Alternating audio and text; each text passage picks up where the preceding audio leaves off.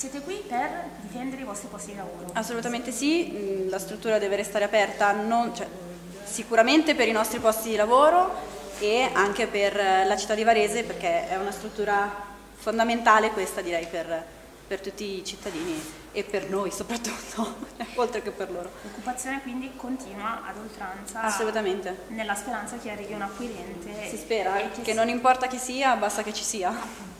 Ok, sì. quindi l'obiettivo è il 30 marzo? Si spera. Okay. Allora, noi in questo periodo stiamo vivendo veramente una situazione molto difficile per noi, per le nostre famiglie, per il nostro vivere, perché non possiamo mica parlare di progetti, mica progetti, non possiamo spendere di più di quello che possiamo avere.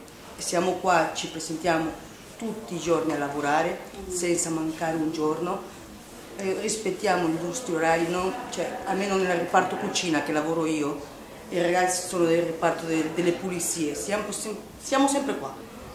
Noi vogliamo certezze, certezze vuol dire per noi è tanto, cioè, abbiamo fatto un Natale molto particolare, molto, molto ansioso, adesso molto triste, molto senza magari prendere regali ai bambini che magari un bambino ha bisogno del regalo, io ho un figlio, tutti hanno famiglie qua, noi abbiamo certezze, vogliamo le certezze, abbiamo il diritto di avere certezze, di avere il nostro posto di lavoro e andare a casa tranquilli come le persone normali.